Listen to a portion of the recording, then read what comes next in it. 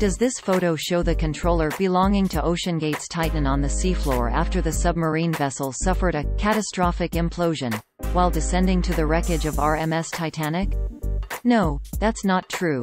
An image shared on social media that claimed to show the cheapest part of the vessel having survived was, in fact, an altered version of a photograph originally published in 2020 as part of a study researching the effects of deep-sea mining. The original image is credited to the German Ocean and Atmospheric Research Organization GEOMAR, not the U.S. Coast Guard or other search and rescue agencies associated with the search for Titan. A version of the claim originated in a post shared to Twitter on June 23, 2023.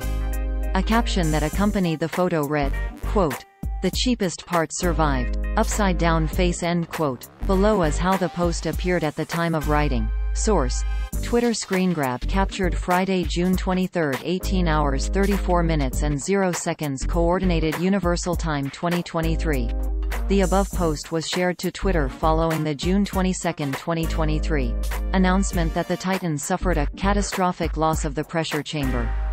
Using a reverse image search, Lead Stories traced the image to 2020, when it was originally published as part of a scientific study researching the impacts of deep-sea mining on the seafloor.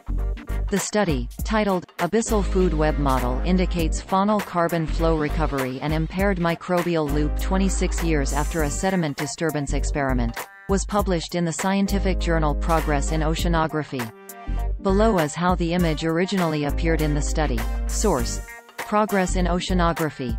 A caption that accompanied the original image read, quote, Fig. 1. Representative pictures of the sediments at a. Reference sites.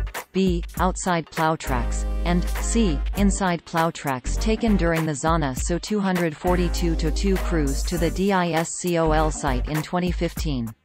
Photos by ROV Kiel 6000, GMR, Kiel, Germany. End quote. The study was conducted by an international team of scientists who investigated how deep seafloor ecosystems were impacted by disturbances such as those caused by mining activities.